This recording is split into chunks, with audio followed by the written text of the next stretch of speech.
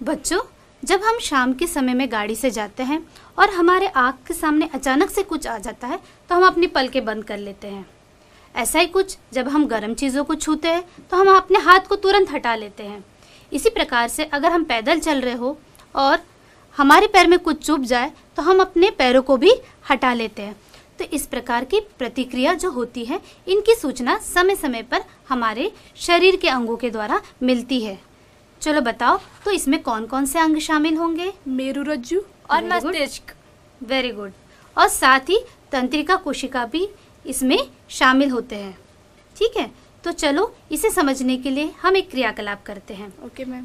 प्रिया तुम्हें इस लकड़ी को जो मेरे हाथ में है इसका एक ऊपरी सिरे सिरे को पकड़ना है।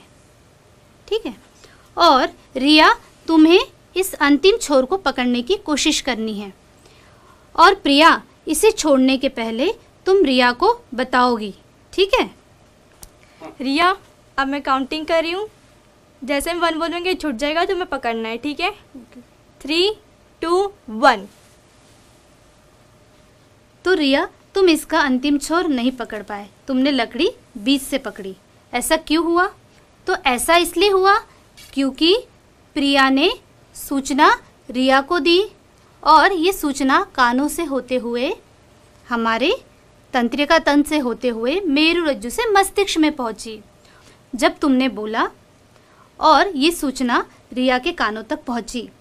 कानों से ये सूचना मस्तिष्क में गई और इसके प्रति प्रतिक्रिया हाथों के द्वारा व्यक्त हुई।